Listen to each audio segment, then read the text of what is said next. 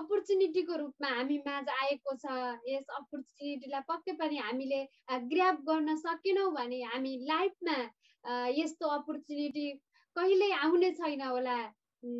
जहाँसम्म मलाई लाग्छ यस प्लेटफर्मलाई बुझ्ने कोसिस गरौँ।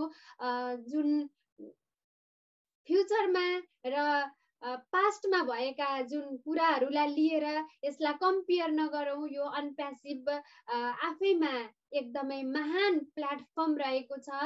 भन्न चाहे म ढिलै नगरी हाम्रो अर्को हाम्रो रेस्पेक्टेड यस हाम्रो नेपाली वेबिनारका अभिभावक एवं हाम्रो एकदमै इनर्जेटिक प्रेजेन्टर विक्रम शर्मा सुवेदी सरलाई यस डिजिटल मञ्चमा वेलकम गर्न चाहे।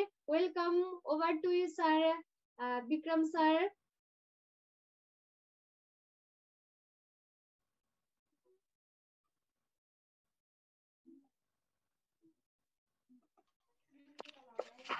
Madam मेरो आवाज आउँदैछ? हजुर सर आएको छ sir over Over to you, sir.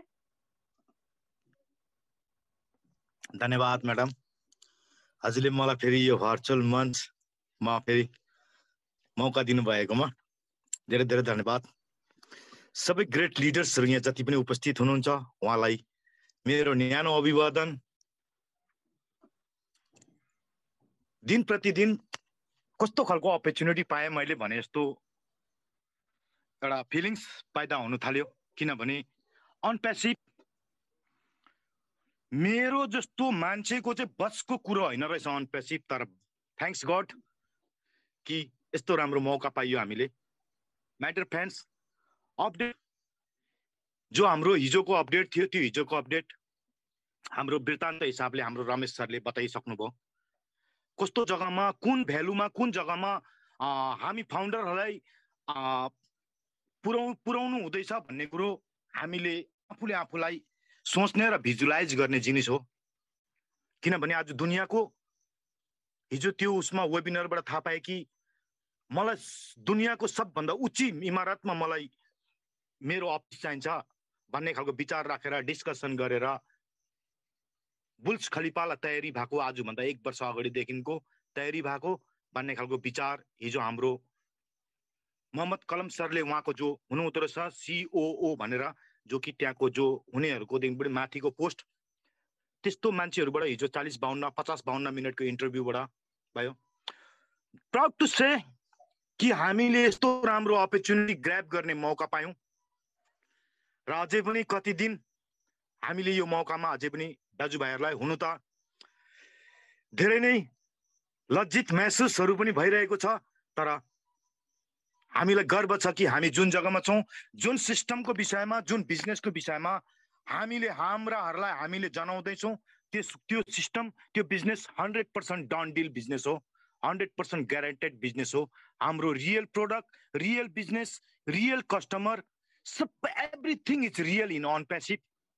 र हिजो त्यहाँ भन्नुभयो कि तपाईँलाई कतिको विश्वास छ अनप्यासिभ माथि भन्दा भन्दाखेरि यस्तो खालको ठुलो पोस्टको मान्छे भएर नि पगला जस्तो फायर फायर फायर भन्ने खालको यस्तो आवाज लाउनु भयो कि जुन कुरो हाम्रो सोचदेखिको बाहिर हाउ हि विल डु भनेर आज सबै मान्छेले मतलब आज सरको जो भिजनहरूलाई देखेर सबै मान्छेले हाउ हि विल डु भनेर भन् भन्छ भनेर त्यहाँ विचारहरू हुँदै थियो।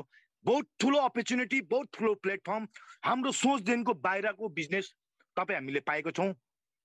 र भेरी सुन सबैको मनमा यही छ पैसा पैसा पैसा। माइडर फ्यान्स बहुत छिटो पैसा आउँछ। अस्ति ओब्लेसको जो ओब्लेसको थियो बोल्ने मौका पाएँ दुई मिनट अलिक बेसी बोल्छु। ओब्लेसमा आज आज मोपरा सरले। आज ओब्लेसमा यति पैसा आउँछ तर ओब्लेसमा आएको पैसाले के तेरोमा के विचार छ? के गर्न चाहन्छस् चाहन्छस् तँ भन्ने खालको यस्तो खालको विचार। सबै त्यहाँको लिजेन्ड फाउन्डर्सहरूसँग राखेर आफ्नो आफ्नो विचारहरू राखेको थियो। र आजको तारिकमा तपाईँ हामीले पनि आफ्नो आफ्नो एउटा विचार बनाउने हन्ड्रेड पर्सेन्ट डाउन डिल सिस्टममा छ। जुन दिनदेखिको अनपेसिभले दिन्छ त्यो दिनदेखि नै हाम्रो गरिबी मुक्त हुनेवाला सिस्टममा हामी छौँ। धेरै सिस्टम धेरै तरिकाबाट हामीले पैसा पाउने सिस्टममा हामी आएको छौँ। बिल्कुल पनि धैर्य न धैर्य नखोने बिल्कुल पोजिटिभ सोचको साथमा कुछ दिन कुछ महिना र यो सालभित्रमै this two thousand two two thousand twenty two is the delivery year भनेर भन्नु भन्नुभएको छ। र प्रत्येक यो अगस्त यो अप्रिल महिनामा पनि हामीले दुईवटा त सरप्राइज पाइहालेछौँ र दिन प्रतिदिन कपालले विकमा फेरि अर्को ग्रेट हुनेवाला भनेर विचारहरू आइरहेको छ। र पोजिटिभ सोचको साथमा हामी बस्ने आज पनि कुछ दिनसम्म मौका पाएको छ। स्वार्थी नबनिने मेरो हन्ड्रेड पर्सेन्ट राम्रो भयो भयो। र मेरो माध्यमले कोही पनि मैले दसजनालाई भन्दा एकजना पनि आउँछ भने त्यसलाई म ल्याउने भन्ने खालको सोच राखेर आज जतिजना पनि छौँ हामी दुई हजारजना फाउन्डरले नेपालको दशा र दिशालाई परिवर्तन गर्न सक्ने क्षमता छ। किनभने अस्ति इन्डियन वेबिनरमा यस्तो खालको विचार राख्नुभयो कि एकजना फाउन्डरले एउटा राज्यलाई एउटा राज्यलाई चलाउन सक्ने त्यति साह्रो औकात हुन्छ त्यति साह्रो हैसत हुन्छ भन्ने खालको सोच राख्नु भएको थियो।